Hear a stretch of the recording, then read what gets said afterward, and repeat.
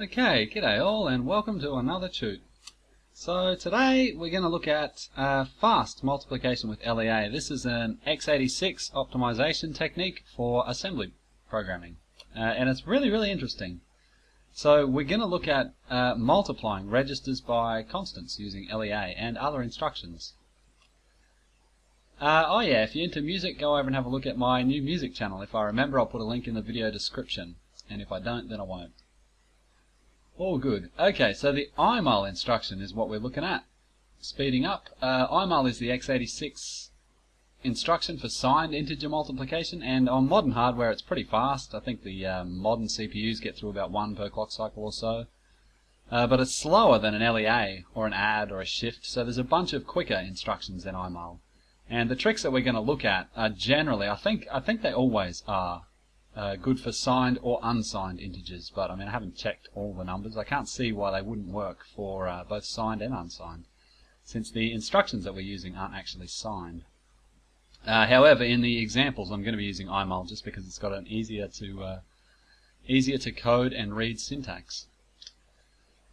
Okay, so before we get started, we should have a quick rundown of the LEA instruction in general. Uh, it stands for Load Effective Address, and it's used to point registers to various places in RAM. So the syntax for it is LEA, and then you give uh, a register operand, and then you supply some address using uh, any uh, valid MASM addressing mode, or whatever assembly you're using. You don't have to use MASM.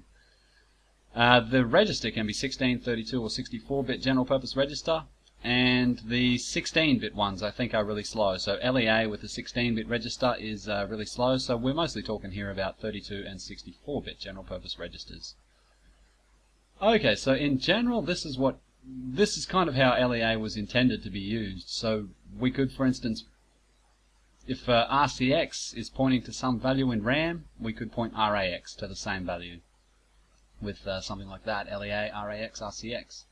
Uh, you can also use SIB addressing, which we're going to look at in a fair bit of detail in a minute. Uh, that's that second example there.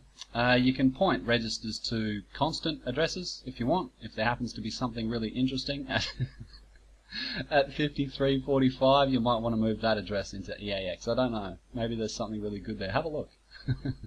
I'll be surprised if your program can read it. Anyway, uh, you might also want to point a register to a variable. So maybe my var is declared in your data segment somewhere. And you might want to point RAX to that so that you can change it remotely using uh, RAX as a pointer. Good.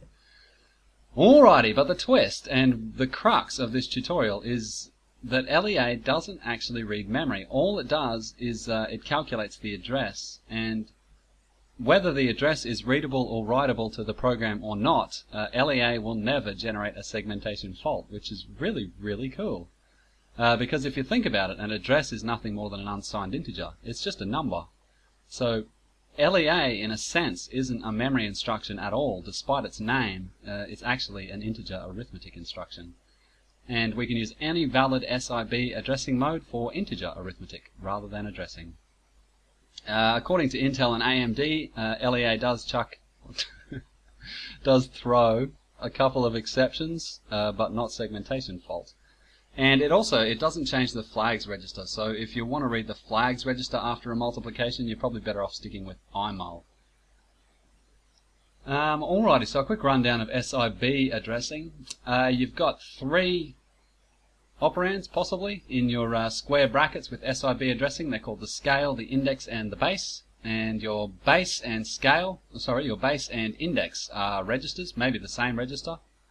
Uh, you can use the same register twice if you want. And your scale is a small power of 2. So the allowable values for scale at the moment and you know in the foreseeable future as well, uh, you can only use 1, 2, 4, or 8 on current architectures. I don't think they're going to change that anytime soon. It's been that way for a really long time. Uh, I tend to write, and I will be writing these backwards in the examples. I don't know why, just a habit. So I, I tend to write base plus index times scale. It makes no difference. Uh, and each of the op, uh, each of the uh, operands in these uh, SIB addresses is optional, but you should have one of them at least in there. So we'll see all of this in a second. It's not too hard, but it does take a little bit of getting used to, I guess. Uh, what's this note? You can't multiply a variable's address by that, but you can add to it. Yeah, that's true. Uh, yeah, you can do myvar plus 100 if myvar is some variable you've declared in your data segment. Yeah, you can look 100 bytes ahead of that address, but you can't multiply the address of myvar by 8. I'm not sure why I brought that up, but it's uh, it's true. MASM is going to calculate any constant expression. Yeah, this is really nice. So if you've written some expression in your bracket, something like 237 plus 78 divided by 16, uh, any expression that evaluates to a constant, a compile time constant, uh, MASM's actually going to calculate that out for us while it um, assembles the program. So that'll be free. It doesn't do that at runtime. Anyway, we're not talking about that. What we are talking about is uh, LEA. So we're going to be looking at a specific circumstance, and it's always good to keep in mind that IMUL isn't stupid. You know, the people that make these CPUs and the instructions for these CPUs, they're not fools. And uh, often IMUL is going to be faster than these tricks, but you know, sometimes uh, using some of these tricks with LEAs uh, might actually give you a bit of a speed increase. So it's just I think the best thing to do is just try IMUL and uh, LEA shifts and adds and see which one's faster. Okay, so that's the end of the presentation. Um, we'll go over to here. Okay, in uh, Visual Studio, here's my little front end. So all I've got is a, a couple of functions written in assembly. We've got go IMUL and go LEA, and they both take a long, long, a really long, long which is the loop count. That's how many times I want it to uh, run whatever trick we're using. Uh, and I've set that to a billion, so it runs a great big loop a billion times, just performing this little LEA trick and performing an IMUL, and uh, the front end here times both of them, the IMUL and the LEA, and uh, then we compare them at the end to see which one's faster. Uh, okay, so if we come over here to the ASM side of the world, uh, we can see these functions. So go IMUL does almost nothing. Uh, I pushed RBX just in case I wanted to use it in the loop just here, and of course pop it at the end there, uh, since it's not Scratch, But most of the uh, function is just the loop. So main loop just here, and here's the bottom of the loop down here. That's going to run one billion times because that's the value that I passed in uh, RCX. Whatever I put in here will be uh, yeah what we're timing. So that's where I'm going to put IMUL. And down here you can see that Go LEA is exactly the same thing. It's actually identical. Only I'm going to put LEA tricks down here. okay, that's good. So the first, uh, the first example that I want to show is um, not, it's not multiplication. It's uh, it's called a non-destructive addition. So what you might want to do is uh, mov EAX, ECX, and add EAX, EBX. Okay, so let's imagine, perchance, let's imagine that we want to add ECX and EBX and store the results in EAX without necessarily changing ECX and EBX. So that would be a perfectly natural way to do it right there. Uh, it's not multiplication, but I'm going to put it in the IMUL uh, loop anyway, just so we've got something to compare to. Uh, but what you can do, if you want to use LEA to do the same thing, there we go. Voila, non-destructive addition. So the LEA instruction is going to add ECX and EBX together. You know, the CPU is going to think it's calculating an address, but it's not.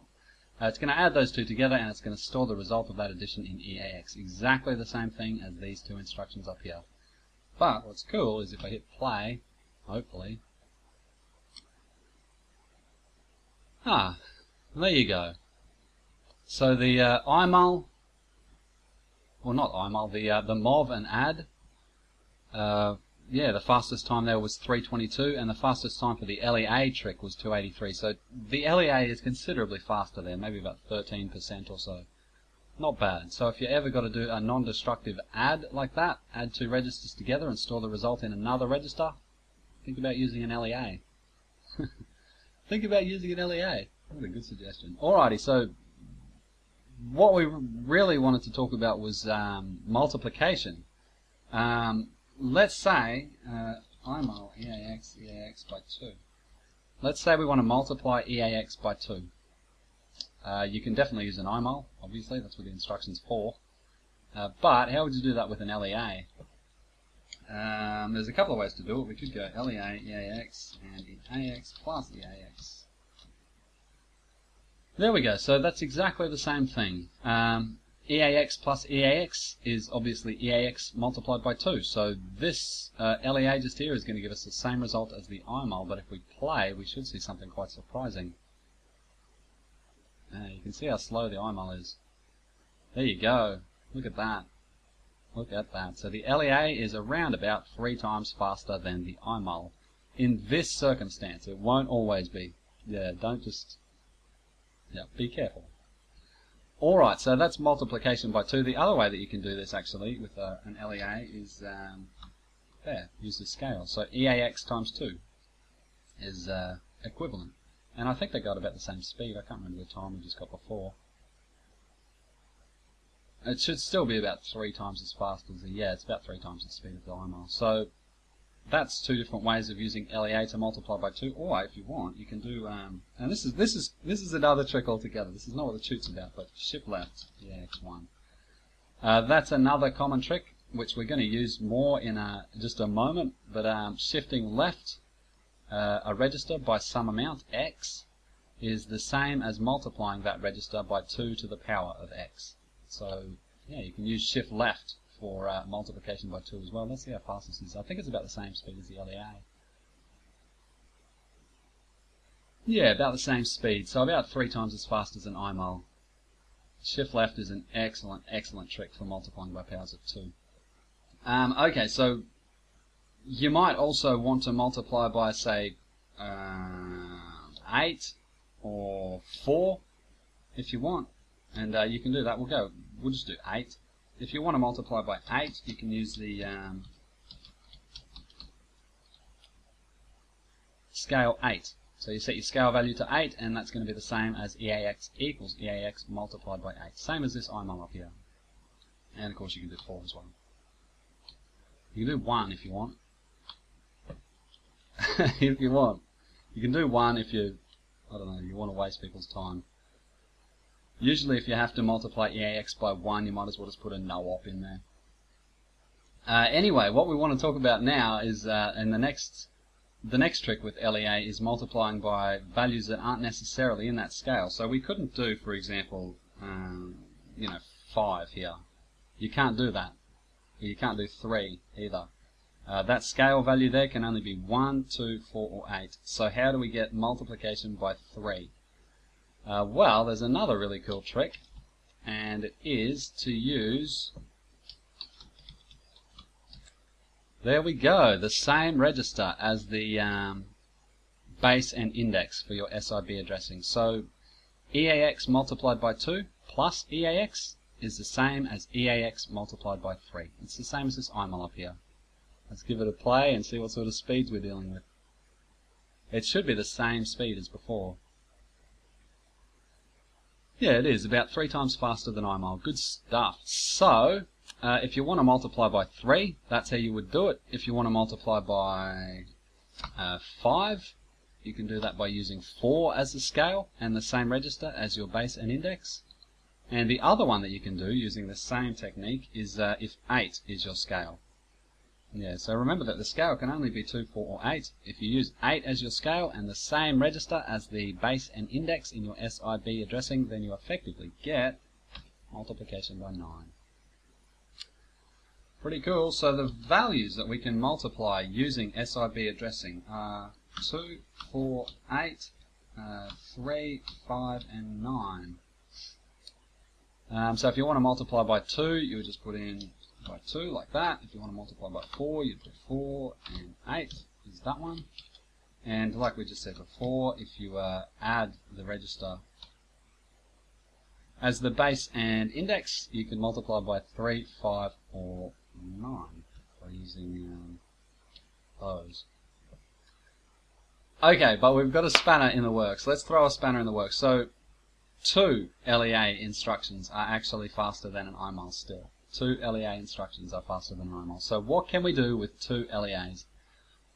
Well, uh, we can get the product of any of these two. So let's pick let's pick two numbers. Let's say 3 multiplied by 5 gives us 15, which means that we can use two LEAs to get uh, EAX equals EAX by 15. I'll just change my IMUL to 15 up there. Uh, what you would do to get uh, 15, you would first multiply EAX by 3, like that. And the next one, you would multiply it by 5, like that. Um, so if EAX equals EAX multiplied by 3 multiplied by 5, then I'm sure you can see it's, uh, yeah, multiplication by 15. Oh, IMUL, you're so slow. Ah, there we go. So you can see that the LEAs are sort of slowing down a fair bit. We've got two LEAs now instead of just one, so it's about double the speed, or half the speed that it was, but it's still a lot faster than the IMUL. So if you want to multiply any, a number, if you want to multiply by any number that's the product of two of these, so we could choose, for instance, um, 8 and 9 if you want. And you do that with... Um, Looks like a unit of 72. There you go. That's EAX equals EAX by 72. Uh, and there's a whole bunch of other possibilities as well. So any product of two of those is available to you. But, but let's throw another spanner in the works. Uh, there's a lot of spanners in there, but we chuck another one in. Um, you can actually use uh, LEA and shift left together to get even more uh, multiplication. So this is really interesting actually. Uh, what I might do is come at the top here. Um, I'm going to be using LEA and shift left together, two instructions each, and uh, this is going to be a little puzzle. So we're going to have um, three IMULs that I want you to reproduce by using uh, an LEA and shift left. Yeah, let's see what you come up with. So the first IMUL, we're going to multiply EAX by 144. Uh, the second IMUL I want you to do is uh, EBX by 320. And the third IMUL we might do EDX by 24. Okay, so give that a shot. See if you can figure out how to use a single LEA and a single shift left to achieve those three. I'll give you a little while and then I'll show you what I came up with. In case you care. That's depressing. Okay, scroll down. This is this is how I would do it. This is one way to do it. I'm sure there's more than one way. So for the first one, um, multiplying EAX by 144, uh, what we want to do is uh, EAX, uh, EAX plus EAX by 8. We want to multiply EAX by 9 and then shift it left 4, which is the same as multiplying by 16. If we multiply EAX by 9 and then multiply that by 16, you might have noticed that uh, 9 by 16 is 144. There you go. Alright, so the second one. Uh, multiplication by, what's that, 320. Oh, this is interesting actually. Uh, 320 is an interesting number, I tell you. Uh, people in the 1990s, programmers in the 1990s, used to multiply by 320 all the time. It was really important to have a fast multiplication by 320 for a lot of programmers. Ah. Anyway, I'm not going to say why. If you know why, leave a comment. anyway, how do we multiply EBX by 320? Well, uh, we're not going to do it the way they used to in the 90s. Uh, this is how I'd do it anyway. So I'd multiply EBX by 5, settle down, by 5 like that. you can't use 5 as a scale. Uh, and then shift left to multiply it by 64. So multiplying EBX by 5 and then multiplying that by 64, you get um, 64 by 5 gives you 320. Good stuff. And the final one uh, is EDX by 24 uh, dx plus dx by 2. So if we multiply e dx by 2 and then multiply that by, sorry, if we multiply e dx by 3 and then multiply that by 8, we'll get 24. So shift left, edx and 3. And that's going to multiply edx by 24. Uh, okay, so we'll give it a play and we'll see if we're faster than IMUL. Yeah, yeah, we're still a little bit quicker than IMUL. Uh, it's getting closer, the gap's getting closer, so we are sort of using a few instructions here, so the gap's a little bit closer. I think there's probably a, you know, a fair bit of register dependence going on here as well, like the EAX, for example, is being used in uh, two instructions, one after another. So uh, maybe that's having a bit of an impact on our LEA's tricks, but uh, we're still faster than an IMUL, so that's good. Anyway, anyway, I have another, I have, I have another spanner to throw in the works, and I'm aware by, by this point that the works have largely become spanners, but this is the final one. So, what you can do is you can use uh, an LEA, a shift left, and an add, uh, or a sub, and uh, those three instructions are still faster than an IMUL in this uh, circumstance. So we can get some really weird multiplications if we do this. Um, I'm going to go 73. Yeah, how would you multiply EAX by 73 using uh, an LEA, a shift left, and an add? Uh, I'm also going to use two registers here. Yeah, I should mention that. Um, okay, so this is one way to do it. I don't know how many ways there are to do that. I don't even know why I picked 73. Uh, it just sort of looked a bit, a bit excellent to me, so I, so I picked it. I'm gonna actually, you know what I'm gonna do? I'm gonna get rid of these little 32-bit registers. Let's go to 64 bits, RAX. Um, okay, so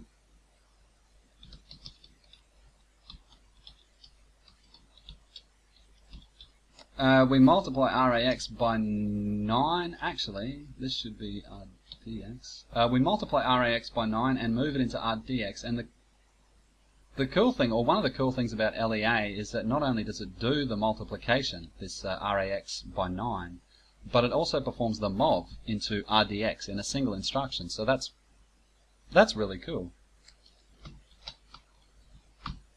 Uh, then we multiply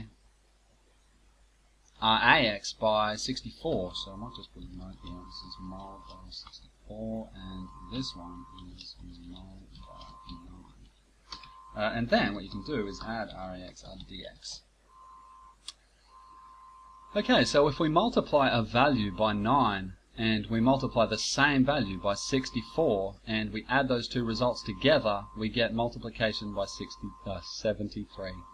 Yeah, so that's one way to do that. Let's have a look at the speed. It should still be faster, I think.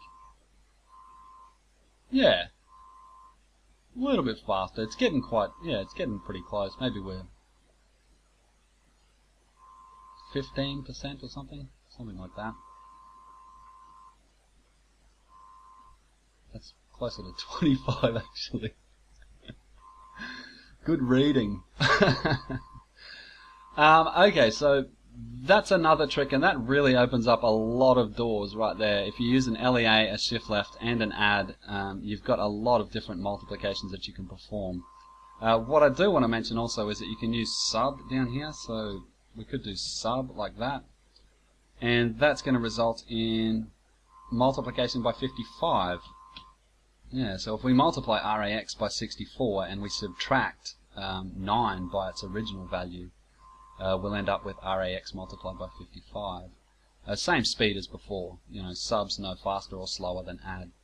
Um, what I did want to mention also though, this is really interesting actually, if you, if you change this back to add for a start, uh, if you don't mind your result being stored in RDX instead of RAX, so here we're back at um, multiplying by 73, only the result is going to be stored in RDX, the speed increase is huge. So you might remember that just a second ago we were at about 75% uh, of the mul. Look at that. Now we're at 45%. It's an excellent speed increase, but I'll tell you what, it's completely pointless because if we make the IMULs independent of each other and uh, store the result of the IMUL in RDX, IMUL flies. Have a look at that.